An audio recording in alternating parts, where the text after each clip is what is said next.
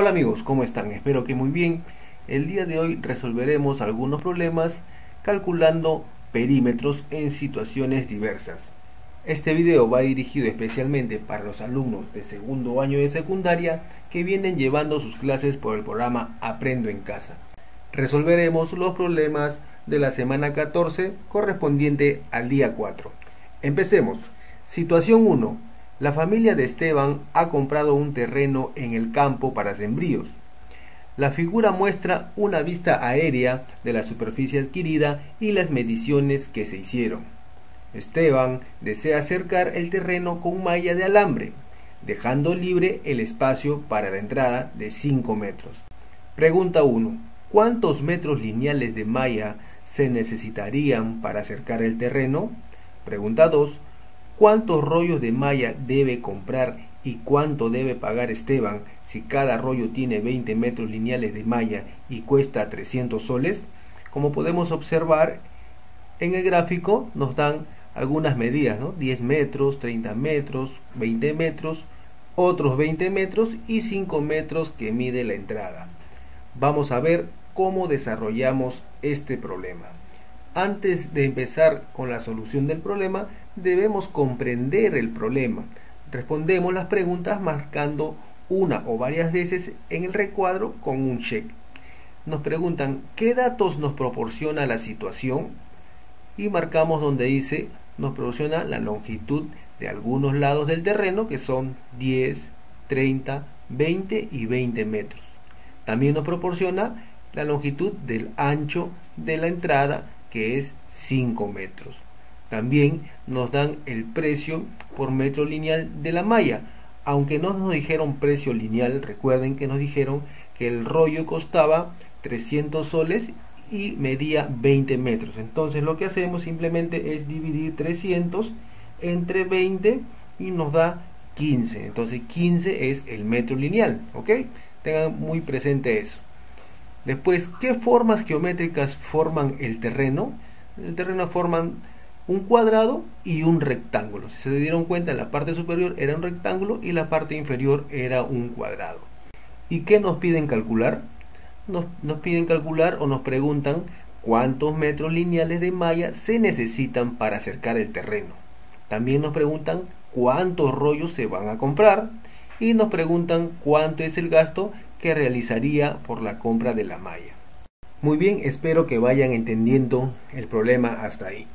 Antes de empezar a responder a la pregunta de la situación 1, es importante tomar en cuenta la siguiente información. Recuerda, figuras compuestas son aquellas figuras geométricas compuestas por dos o más figuras.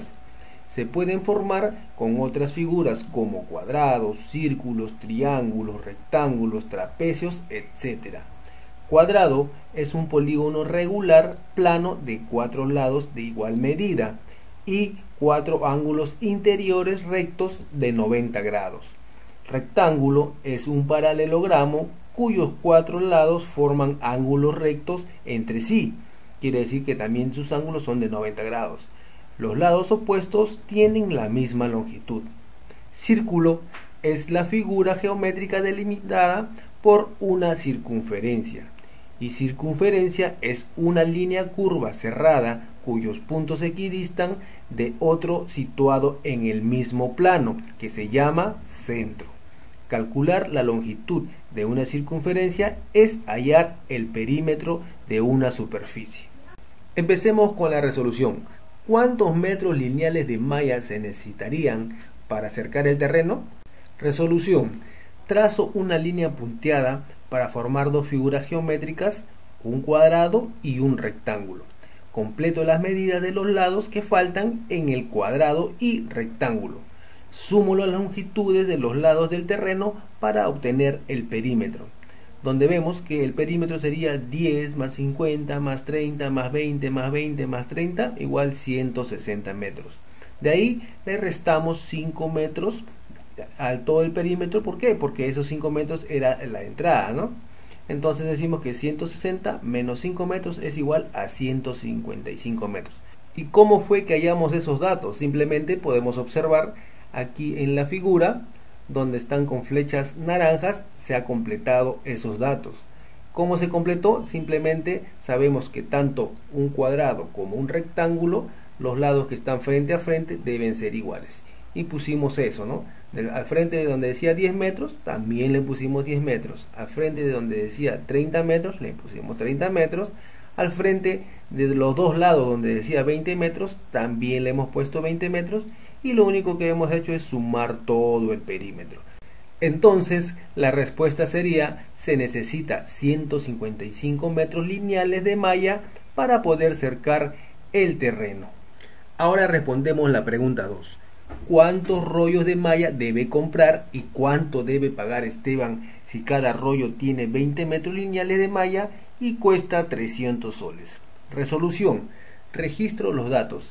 Metros lineales de malla que tiene cada rollo son 20 metros metros lineales de malla para acercar el terreno son 155 metros que lo hallamos hace un momento. Precio del rollo por malla 300 soles. Número de rollos de malla para comprar no sabemos, le ponemos X. Gasto por la compra de los rollos de malla tampoco lo sabemos y le ponemos Y. Para hallar el número de rollos para comprar X, divido la cantidad de metros lineales de malla para acercar el terreno entre la cantidad de metros de malla que tiene en cada rollo. Entonces ponemos que X es igual 155 entre 20. Eso sería igual a 7,75. Redondeando nos daría 8 rollos. Para hallar el gasto por la compra de rollos de malla, quiere decir Y, multiplico el precio del rollo de malla y la cantidad de rollos que se debe comprar. Entonces decimos que Y es igual a 300 por 8 igual 2400 soles. La respuesta, Esteban debe comprar 8 rollos de malla y pagar por ellos 2400 soles.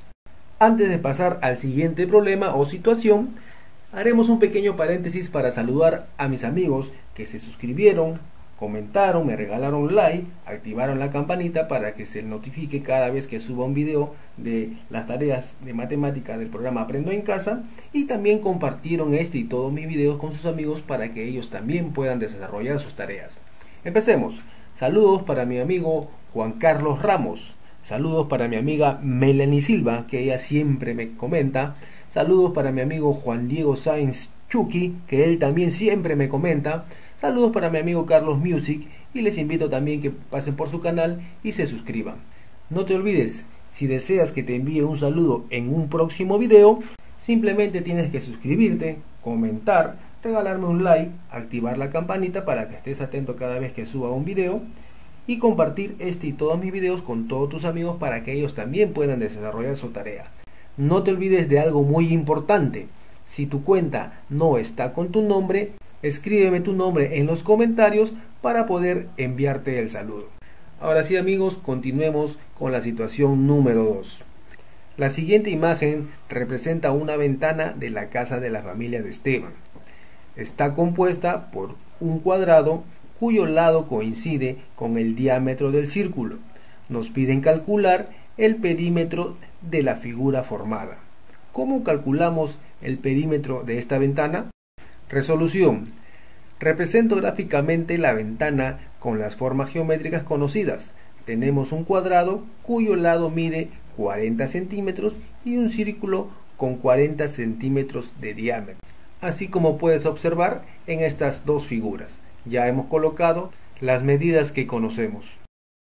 Ahora, para resolver la situación, calculo la longitud del contorno de la ventana que viene a ser el perímetro de la forma geométrica compuesta por el semicírculo y el cuadrado, línea de color roja y azul que hemos puesto en el diagrama, si puedes observar, donde L es la longitud del contorno de la ventana, entonces L es igual al perímetro de la semicircunferencia y si te das cuenta le hemos puesto de color rojo porque también en la figura está de color rojo, más suma de la medida de tres lados del cuadrado. Si te das cuenta, le hemos puesto de color azul porque también está representado de color azul en la figura. Entonces, L es igual a 2 por pi por R más 3 por 40 centímetros. Entonces simplemente reemplazamos los datos y despejamos L, nos sale que L es igual a 182,8 centímetros. Respuesta, calculo totalizando la medida del contorno de la ventana que viene a ser el perímetro y es 182,8 centímetros. Recuerda que la longitud de una circunferencia se halla con esta fórmula, L igual a 2 por pi por R, donde R es el radio. Ojo, esa, fórmula es para hallar el total de la circunferencia. Nosotros solamente estábamos hallando la mitad de la circunferencia. Es por eso que en la fórmula que hicimos anteriormente, en la segunda fila ya no hemos multiplicado por 2. Simplemente dijimos que L era igual a pi por 20 centímetros, que era el radio, más 120, que era el resultado que multiplicamos 3 por 40 centímetros. Tenga muy presente esta observación y no se vayan a confundir. Hemos hallado solamente la mitad de la circunferencia, ¿ya? Por eso hemos dicho de la semicircunferencia. Recuerden bien eso, no se vayan a confundir. La fórmula que dimos era para el total de la circunferencia. Ahora la situación 3. Mi vecino Abel saca a pasear a su perrito todos los días al parque municipal de Barranco cerca a su casa y cada día da dos vueltas al parque. ¿Cuántos metros como mínimo camina Abel para pasear a su mascota? Vamos a ver cómo damos respuesta a este problema. Bueno, para resolver este problema podemos utilizar las aplicaciones que tenemos tanto en los celulares como en las computadoras y nos dan ya la distancia total de cuánto mide una calle. En este caso está la distancia total es 333,72 metros y lo único que tenemos que hacer es calcular las dos vueltas que recorre en un día. Multiplicamos por 2 y nos da 667,44 metros. Observación, para que la distancia recorrida por Abel sea mínima, no tenía que retroceder en ningún momento. Entonces decimos que la respuesta es si Abel no retrocede en ningún momento, lo que camina cuando pasea a su perrito es 667 44 metros. También se puede desarrollar de otra manera. De no contar con estos servicios o aplicaciones, se utiliza una regla o cinta métrica, se mide los lados de la imagen del parque y se calcula o se estima la medida aproximada del contorno. Y al obtener la medida del contorno simplemente lo multiplicamos por 2. Ahora resolveremos la situación 4. Mientras paseaba a su mascota, Abel observó un estanque hecho de tres cuartos de un círculo y un cuadrado, como se muestra en la figura B, aquí al costado. Y nos preguntan, ¿cuánto es el perímetro del estanque? Vamos a ver cómo damos solución a este problema. Resolución. Identifico las figuras geométricas que componen la figura del parque. Este estanque abarca una región circular y un cuadrado, donde P es el perímetro del estanque de la figura B. L es la longitud de la circunferencia, L minúscula es el lado del cuadrado, R es el radio y pi sabemos que es 3,14. Entonces calculo la longitud de la circunferencia. Sabemos que L es igual a 2 por pi por R, esto es igual a 2 por 3,14 por 4 centímetros. Entonces nos da que L es igual a 25,12 centímetros. Para calcular el perímetro del estanque, tomo las 3 cuartas partes de la longitud de la circunferencia, lo que está de color o línea azul, y sumo la medida de los dos lados del cuadrado, línea roja, si podemos observar. Entonces decimos que P es igual a 3 cuartos de 25,12 centímetros más 2 por 4 centímetros. El perímetro sería igual a 18,84 centímetros más 8 centímetros nos da que el perímetro es igual a 26,84 centímetros. Si se dan cuenta en este problema, lo primero que hemos hecho es hallar el perímetro o la longitud total de la circunferencia. Después hemos tenido que multiplicarlo por sus tres cuartas partes, porque no es el total de la circunferencia lo que necesitamos, solamente necesitamos las tres cuartas partes. Por eso lo hemos multiplicado por 3 cuartos. Y a eso le hemos sumado los dos lados del cuadrado que medía cada uno 4 centímetros. Entonces multiplicamos y nos dio el resultado de 26,84 centímetros. Respuesta, el perímetro del estanque es de 26,84. Ojo, tengan bien presente este tipo de problemas, no se vayan a confundir para futuros ejercicios o problemas que le dejen en clase. Muy bien, esto sería todo amigos, si les gustó el video y te ayudó a resolver tu tarea, te invito a suscribirte, comentar, regalarme un like, activar la campanita para que te notifiquen cada vez que yo suba un video y compartir este y todos mis videos con todos tus amigos para que ellos también puedan desarrollar las tareas que le dejan en el programa Aprendo en Casa. Conmigo será hasta un próximo video. Hasta pronto.